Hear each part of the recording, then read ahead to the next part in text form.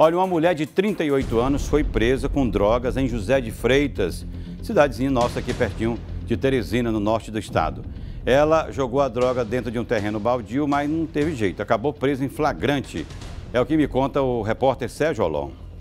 Foi através de informações anônimas que a polícia passou a investigar o local. Na ação, a mulher, ao perceber a chegada da polícia, ainda tentou se desfazer de uma bolsa, arremessando pelo muro.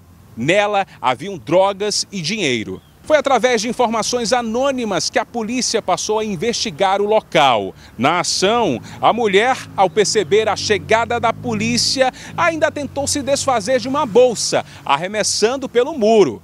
Nela haviam drogas e dinheiro. A gente realizou a prisão em flagrante de uma senhora de iniciais LPC, de 38 anos. A prisão foi em decorrência de tráfico de drogas.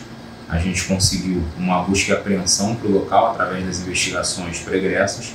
E chegando ao local, entramos na casa e a, a autora tentou ainda é, arremessar uma bolsa com, contendo drogas e dinheiro no quintal de um terreno baldio.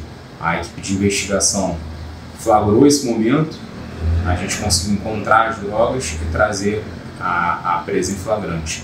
Foram 65 pedras de crack é, de tamanho pequeno e uma pedra de tamanho maior que ainda seria dividida em pelo menos uma centena de pedras menores. Também foram encontrados 500 reais e agora a gente vai formalizar o flagrante e enviar para o Judiciário, para o Ministério Público.